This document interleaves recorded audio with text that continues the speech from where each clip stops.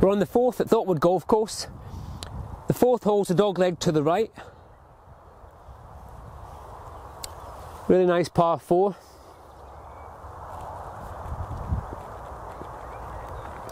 Unfortunately, along the right hand side runs a lateral water hazard. Now, a lateral water hazard is identified with red stakes, unlike a, a normal water hazard which is identified with a yellow stake. So on the right hand side of the fourth, we've got a nice big willow tree up here and there's a stream just under it.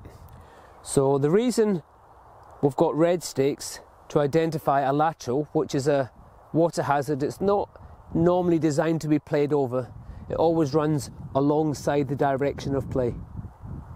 So the difference from the red to the yellow, only on a red can you drop within two clubs of the entry point, unlike the water hazard where you could drop the ball in line with the flag where the ball went in. So this one on the fourth here, this is quite a common situation, especially if the wind's off the left. We get a lot of balls bouncing just under that tree. So we're going to go up in a minute and have a look and go through exactly what you should. Okay, we're under the, the big willow tree now.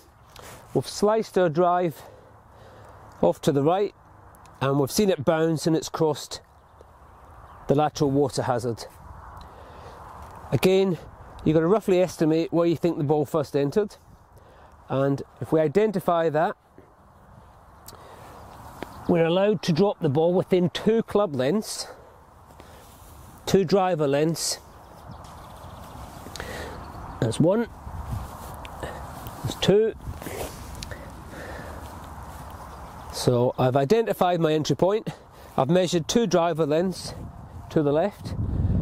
There's, there are a few other options with the lateral where you can, if the conditions allow it, where you can drop the ball on the other side as long as you're keeping the entry point and flag in a line. Nine times out of ten, I would just stick to the two club lengths. So I've measured my two club lengths here and then I'm going to drop the ball just above my shoulder.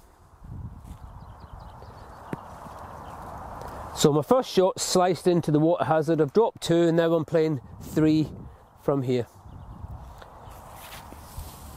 So just to recap, a red stake is a lateral water hazard which is designed to be played running alongside you.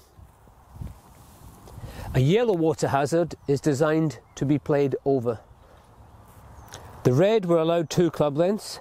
The yellow, entry point with the flag as far back as you want.